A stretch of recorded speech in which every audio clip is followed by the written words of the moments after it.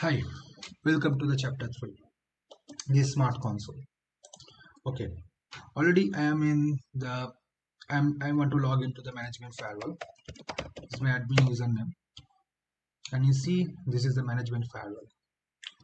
So this is required for the smart console. Download now, you can mm, download over this, but already I have. So you can just click uh, like this if you do any kind of uh, smart console servers okay like uh, you can use for this uh, uh, download and you can just double click over the smart console server and you can see the smart console application. So this is smart console application already installed in my system so you can you not install anything. Just open the smart console you can see smart console r81 okay this is 220 and give it to the password. You can log in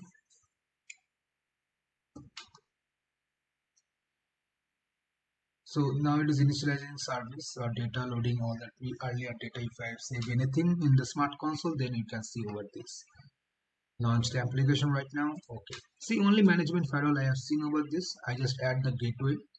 So click on the stars and gateway and click on the classic mode. And um, click on the classic mode. It's take just few seconds and um, and one more thing if you install the smart console any kind of firewall administration so this is minimum requirement is like uh, 6 GB RAM for this uh, 6 GB RAM is required. So if you install the smart console okay so it is required minimum 6 GB RAM is required for it okay? And almost uh, 200 GB hard disk is required okay let's remember one thing okay.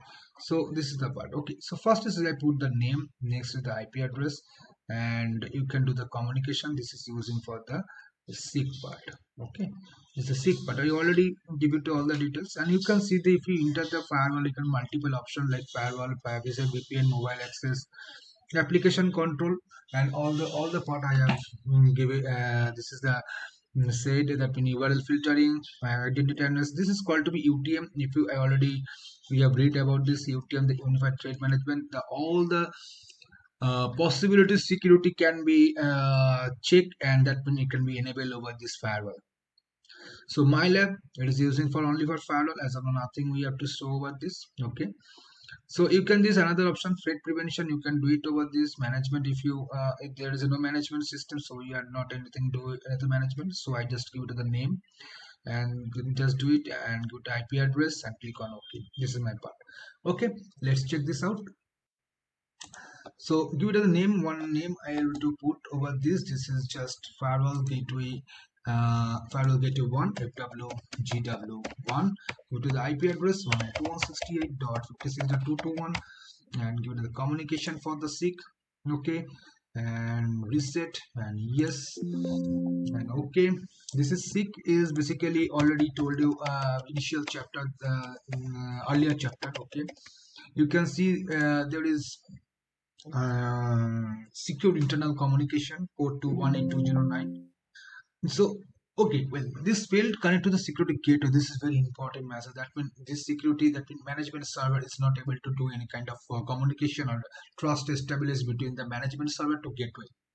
So now i want to re-verify it uh, reconfigure about the part. Okay? So basically i want to go i just access to the system okay and going to cp that one okay and click on this admin okay and this command cp config and do the 5 click on 5 yes yes activation key. Again i'll do it because i have failed it because i what what has happened because why it's felt sick? Um, earlier i have just installed on gateway then again i've deleted. So one time you can install at a time. That means after SIG configured you can just give one time. If you deleted any uh, firewall from the smart console again re-establish this. So that's why we have again re-established this SIG okay i've done it. So basically this is the i am telling you what is the command and all this thing. Uh, see this is just a minute uh, yeah. So see this is a um, secure internal communication that what i am talking about okay? And command is cp config cp config. This is the command okay? If you anything face the issue so it is the command and you can create a number five i have to put and after this five and all this thing is done and put the nine then it can be exit. Okay. Now uh, if uh, SIC is um, basically SIC is done uh, during installation. Okay. During installation. So installation my handwriting is very bad. Sorry for that okay? No anyway the uh, during installation so again if you uh, management servers is there okay you can access the smart console sc this is your firewall admin machines okay? So you just register the gateway. This SIC okay? And after some time you have seen this is wrong or anything it is deleted. You are deleted again you are trying to same SIC and again this same gateway if you put these things. So unfortunately you can't do it anything. Okay? So we need to just one time you can do over this. And if we, one time you can do it. Even again you delete it again cp config command. Click on number five nine exit and that's all. Okay let's proceed about it. So now i have done and again so nine. See all the mobile access stops and all those things is uh, starting about it. And mass is not installed. This is something daemon is working. Daemon is started. Mm -hmm. it's taking just one or two minutes. That is nothing else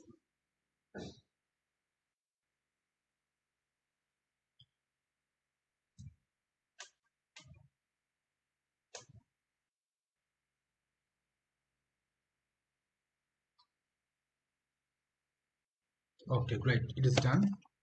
So just I'm doing close and again reset. Yes. And this part again I put the same password click initialize.